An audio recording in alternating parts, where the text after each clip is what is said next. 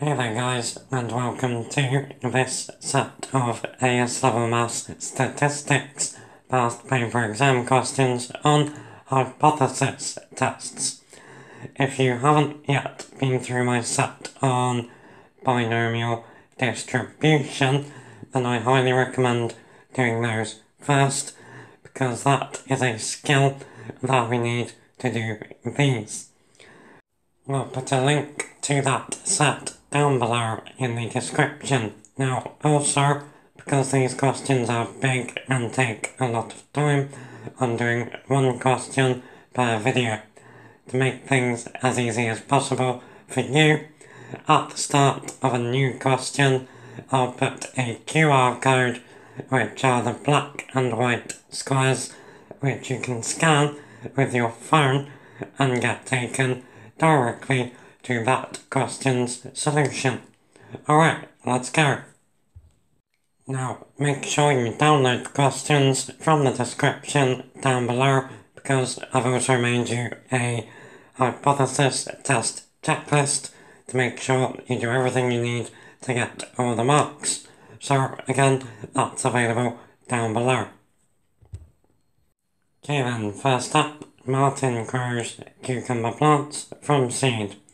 In the past, he has found that 70% of all seeds successfully germinate and grow into cucumber plants. He decides to try out a new brand of seed. The, the producer of this brand of seed claims their seeds are more likely to germinate than other seeds. Martin sows 20 of this seed and 18 Carry out a hypothesis test at the 5% level of significance to investigate the producer's claim. Okay then, so it's 7 marks and we want them all. So the first thing to do would be to define a variable. So here we are interested in seeds that successfully germinate. So the first thing we would say is let x, or any letter, be the number of seeds that successfully germinate. So then the next thing we need are the null and alternate hypotheses. So H naught, the null hypothesis, is always the one where the probability doesn't change. So in the past, he noticed that 70% of seeds germinate. So our probability is 0.7.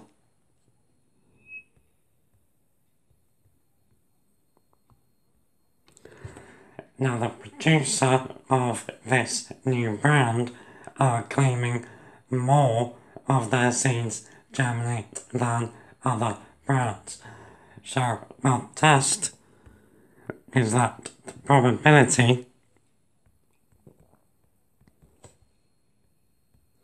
is greater than 0.7.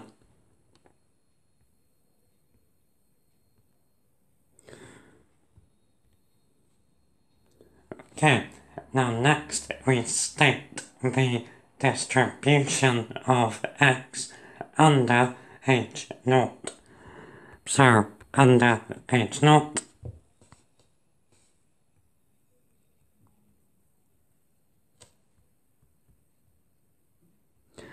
x follows a binomial distribution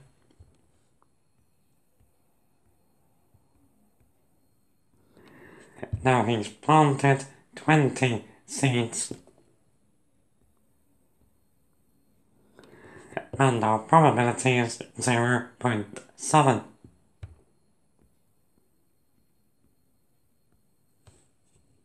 Okay, so that's everything set up. Now we do the test. So what we want to know is, under the null hypothesis, was it more or less likely than 5% that 18 or more seeds would germinate. So we want the probability that x is greater than or equal to 18.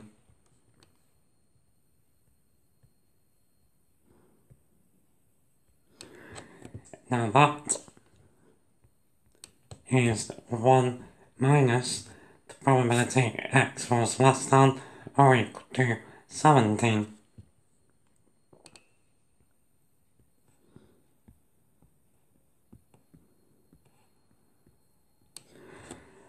Okay, now that is going to give us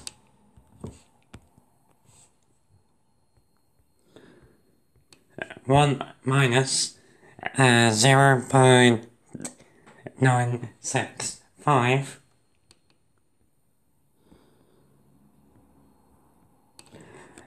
Uh, which is zero point zero three five.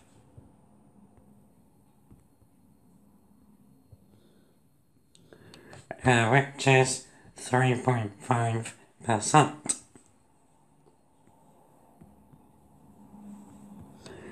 Now, 3.5%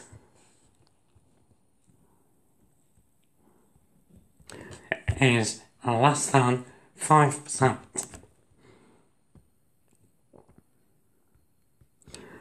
So, we have found under the null hypothesis with p being 0.7, it was less than 5% likely that 18 or more seeds would germinate out of the 20 that Martin planted. So that tells us to accept H1.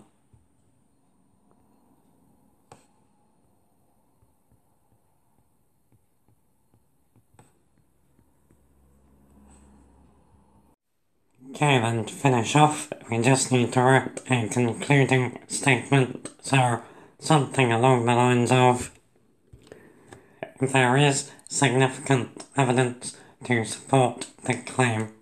Boom. Okay then guys, that's that one done. On to question two. Hope to see you there.